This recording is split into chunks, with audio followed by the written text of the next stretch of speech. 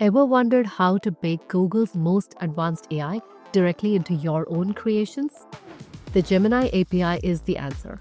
It's the engine that runs inside Google AI Studio, enabling you to build intelligent, next generation applications. Think of the Gemini API as your access line to this power, accepting your instructions, your prompts, and delivering dynamic responses. We'll show you how to hook this engine into your applications, websites, or backend systems. You can use your favorite programming languages like Python, JavaScript, and Go, or REST API commands. So you use Google AI Studio to prototype and explore what the Gemini API can do. And then you use the Gemini API to build and integrate those capabilities into your own applications. In this video, you'll learn how to install the Gemini API libraries and the Software Development Kit SDK for your chosen language.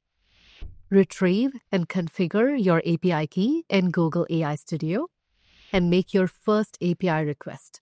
So, lots of exciting stuff is coming up. Buckle up and let's get started.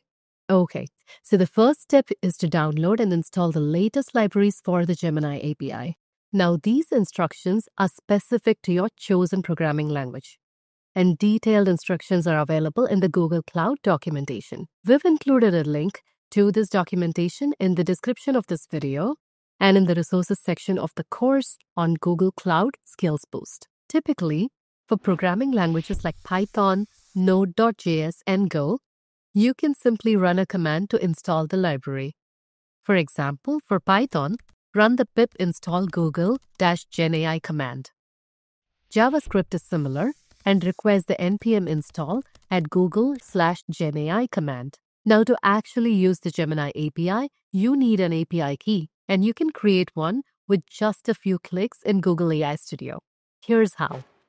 So in Google AI Studio, there's a Get API Key button. Let's click that. This guides you to a page where you can generate a new key. And once generated, you see a string of characters. This is your API key. Now, it's very important to keep your Gemini API key secure. If others get access to this key, they can make calls using your project's quota. This could result in lost quota or additional charges for billed projects, in addition to accessing tuned models and files. This is something you'll want to avoid. So now that you've generated an API key, you can test it Google AI Studio often provides a sample curl command when you generate a key, and this is a great way to quickly verify that your key is active. Simply copy the curl command and run it on your machine. And if your key is working, you'll get a JSON response from the model. Now, once you've installed the SDK and your API key is configured, you're ready to make your first request. The primary method for this is generate content which sends your prompt to the Gemini model. This example code shows how to make a request using Python. And if everything is working correctly, the model should return a response. And it does.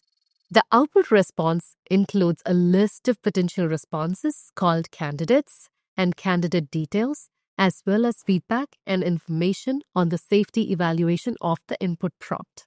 This level of detail tells you not only what was generated, but why it was generated and if any safety or generation limits were encountered. Like with basic prompting, you can influence the output of the generate content by adding additional parameters, which are often grouped under a generation config object and safety settings.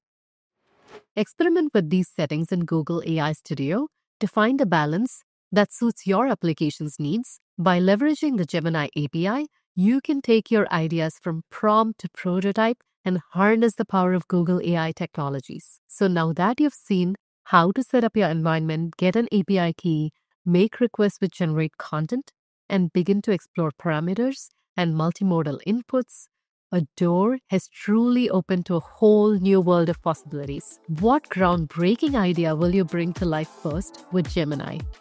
Don't just imagine it, start coding it. Check out the links in the description below to earn a Google AI Studio Skill Badge on Google Cloud Skills Boost.